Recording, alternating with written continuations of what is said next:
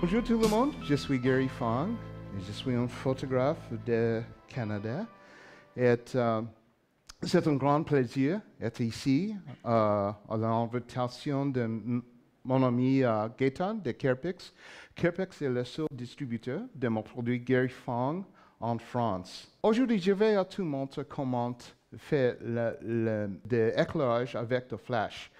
Parce que le problème avec flash, c'est que le, le fond de la tête de la flash est le même comme la lampe de poche.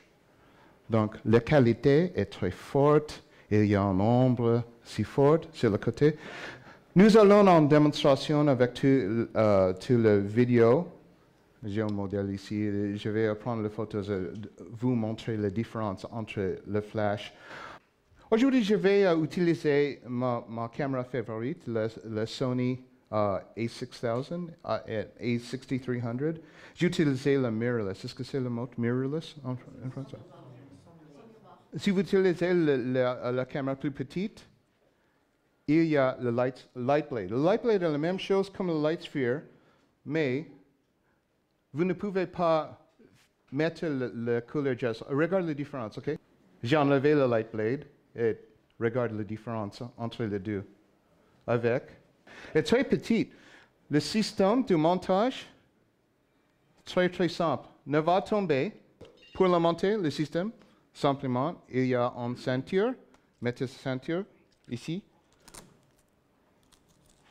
Voilà, simplement. OK? Ne va tomber. So, pour le flash plus petit, j'ai suggéré le, le light blade. OK, now, j'utilise le mode TTL. Est-ce que la même chose, TTL? Maintenant, je vais faire la première avec le flash direct. La qualité de la lumière sur, sur ce pot est, est trop forte. Et maintenant avec le light blade.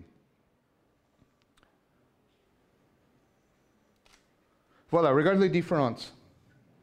Très simple. Flash direct et le light blade. Vous ne pouvez pas dire qu'il y a flash. Et c'était mon but. Ok, maintenant, je vais te montrer la différence entre le light sphere. Quelle est la différence entre le light sphere? Le light, light sphere peut accep- accepter les accessoires comme les gels, comme les domes. Et aussi, vous pouvez l'utiliser à l'extérieur parce que vous pouvez l'utiliser en direct comme ça. Et il y a un grand cercle euh, d'hémisphère pour diffuser en direct. Mais dedans, on va utiliser en haut. OK? So, diriger en haut. Et tu- toujours me demander la question. Quand est-ce que j'ai besoin d'utiliser le dôme? Si vous avez un plafond bas, utilisez le dôme parce que il y a beaucoup de lumière à la plafond.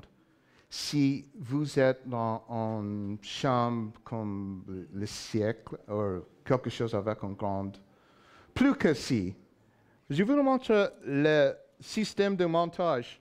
Regarde quelle forte. Ne va tomber. Je peux enlever la, la caméra et le tripod ensemble. Monter comme ça. Ce n'est pas ma recommandation, mais vous pouvez, vous pouvez le faire. OK. OK. Flash direct. Voilà la même chose.